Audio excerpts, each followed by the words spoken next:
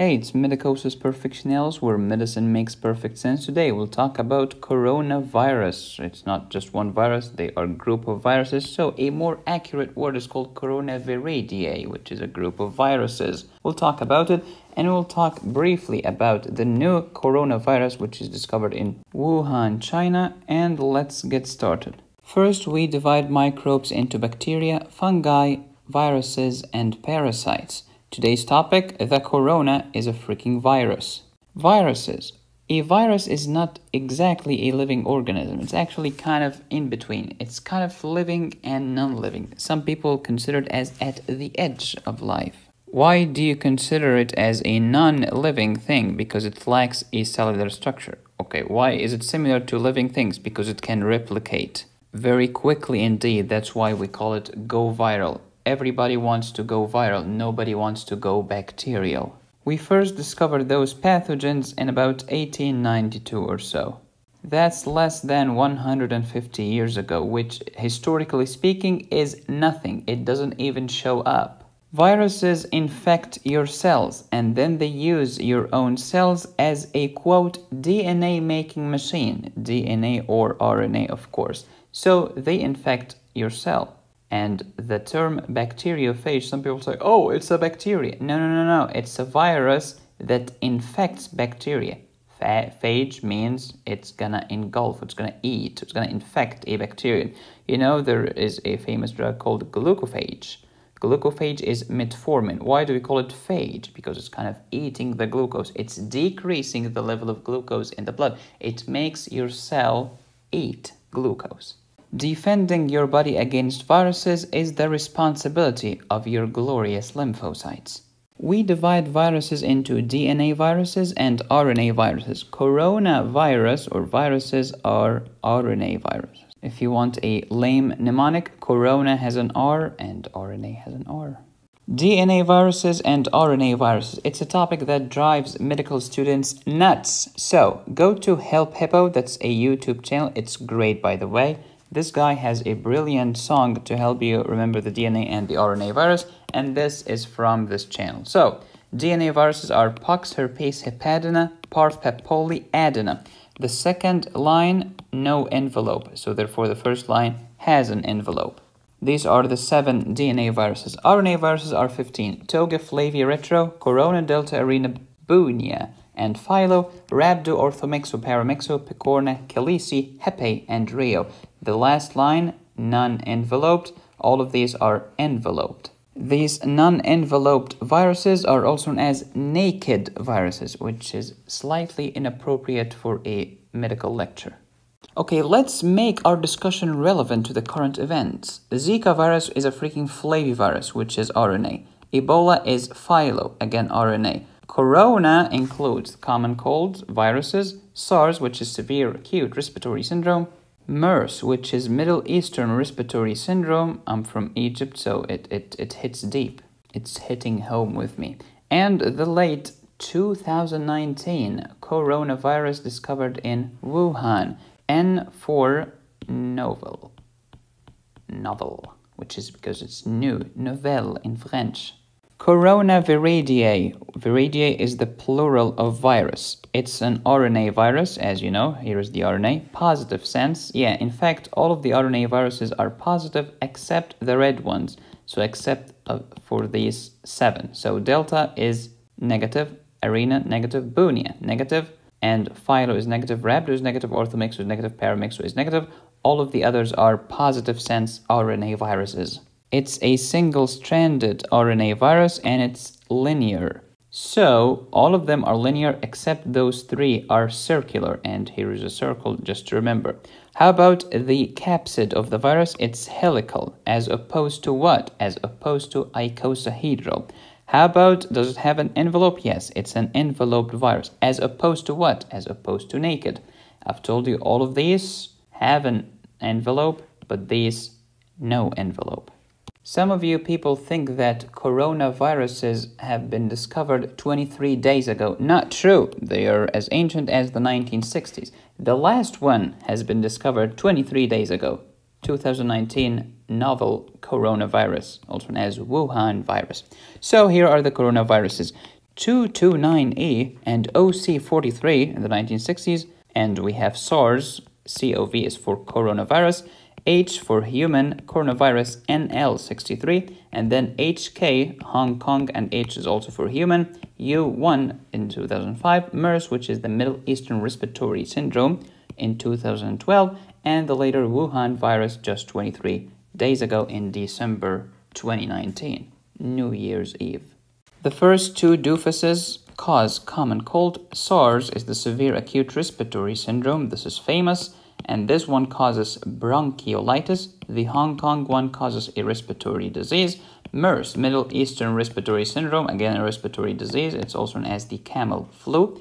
2019, this is the Wuhan coronavirus. Have you noticed all of them cause respiratory diseases? So how can we prevent them? Like wear a mask, wash your hands, do not get in contact with patients. It's just common sense. Prevention is better than cure especially when there is no cure. Okay, let's talk about the Wuhan coronavirus. This is brand new. This is literally 23 days ago. So we do not know a lot about this virus and I'm recording this on January 23rd, 2020. Anything can change in the next few days, weeks or years. So please forgive me for any mistakes here. This is just as far as I know.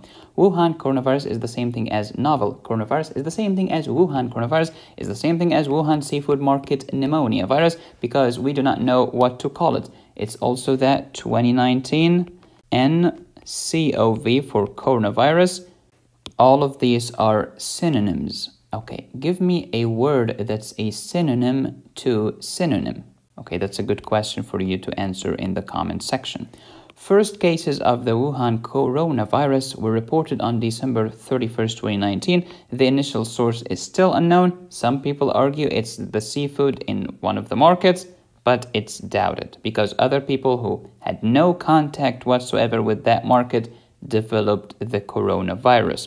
Snakes are probable reservoir, but still we do not know. Human to human transmission is possible. Until January 22, 2019, it's not considered as a PHEIC by the World Health Organization.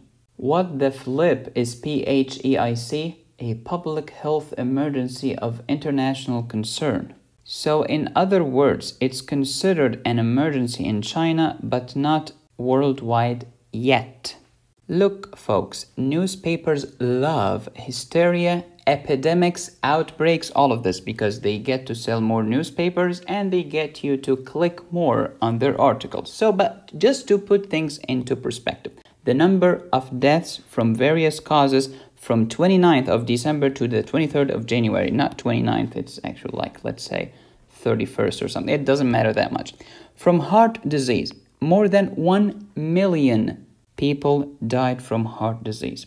How about car accidents? 90 thousand. HIV 49,000. Influenza virus 38,000. The Wuhan coronavirus 25 until this moment. But you will never hear about this tomorrow when you read the newspaper because it does not sell enough papers. You will hear about the Wuhan coronavirus and how the world is coming to an end and humanity as we know it is toast. But as of this moment, you're way, way, way, way, way more likely to die from heart disease than from any coronavirus. But if you watch the news 24 7, this will increase your stress levels, which is correlated with heart disease. You're not helping anybody. And please remember Ebola. Remember when people were angry at former President Obama? They said, Hey, President Obama, you should do something. You should ban all flights. Ban all flights? Okay, it's true that Jeffrey and his buddies are going to the beach in an airplane. It's also true that little Carol is going to see her grandma. But it's also true that there is a neurosurgeon who's flying to save about three to four kids' lives. There is also a psychiatrist who is going to talk to some patients who are suicidal. When you ban all flights, you might do more harm than good. But aren't you aware, Medicosis, that China has closed down some transport? Yeah, I know it happened in some cities, not the entire country. First, we do not know yet. It might be a good idea, it might be a bad idea. It might be a good idea for China, but a bad idea for another country. I don't know, I'm not an expert on these issues. so please take my words with a grain of salt. If you have any symptoms, please talk to your doctor. And as I say, one disclaimer a day keeps the lawyer at bay. Here's a great quote from the genius Dr. Thomas Sowell There are no solutions in life, only trade offs. Everything will have some desired effects and some side effects. And here are some great words from the insufferable ZDoggMD. I'm kidding, he's a great person.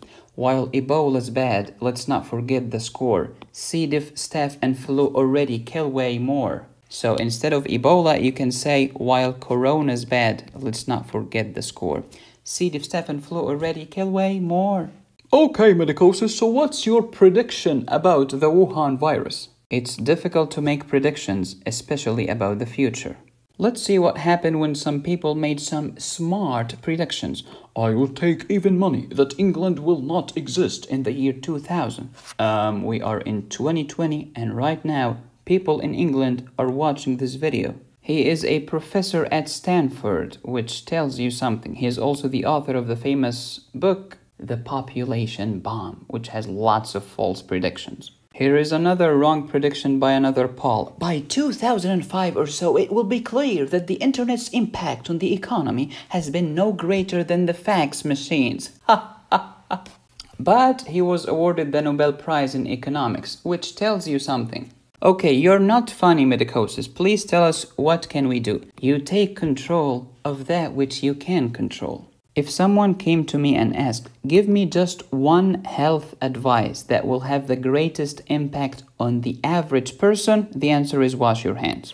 So here is what you can do according to the World Health Organization. Wash your hands, cover your mouth while coughing or sneezing because it's disgusting. Stop it, people. Avoid close contact with patients. Seek medical care if you have noticed any symptoms. Avoid direct contact with live animals. Avoid consumption of raw or undercooked animal products. I know that the rare steaks looks pink and amazing, but it's not safe, man. Also, please remember that risk equal hazard times probability. And while this coronavirus seems relatively hazardous, with a case fatality rate of about 3 to 4%, the probability of you developing this infection is extremely rare until this moment. In the next video, we will continue our rheumatology playlist. We'll talk about management of rheumatoid arthritis. We shall discuss the small molecule inhibitors, such as the famous tofacitinib. Who named these things? Speaking of pharmacology, until the end of January, you can get a 60% discount towards my antibiotics lectures. Go to my medicosisperfectionalis.com website, use the promo code antibiotic60. You will love it. And this is Linda, by the way. She's a nun and she represents Glinda clindamycin. And this is the red man in the van down by the river, representing the red man syndrome, which happens with vancomycin. Thank you for watching. Please subscribe, hit the bell, and click on the join button. You can follow me on all of these platforms and LinkedIn and TikTok. And you can support the channel on Patreon or PayPal. Here is my email. Here is my website. Thank you so much for watching. As always, be safe, stay happy, and study hard. This is Medicosis Perfectionalis, where medicine makes perfect sense. I wish you the best of luck.